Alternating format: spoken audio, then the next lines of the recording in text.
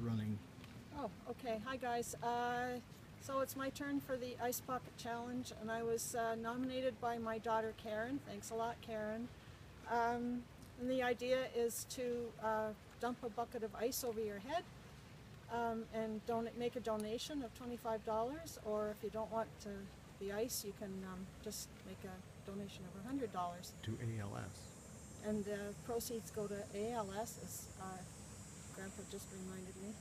Um, so, and, um, and also um, you, you nominate somebody else, but I don't want to put anybody on the spot. So what I'm going to do is just post it on Facebook and email it to a few people and I would invite you if you see it and you feel inspired to do likewise. Uh, so, is there anything else? Have I covered it all? bucket leaks, so. Okay, here we go.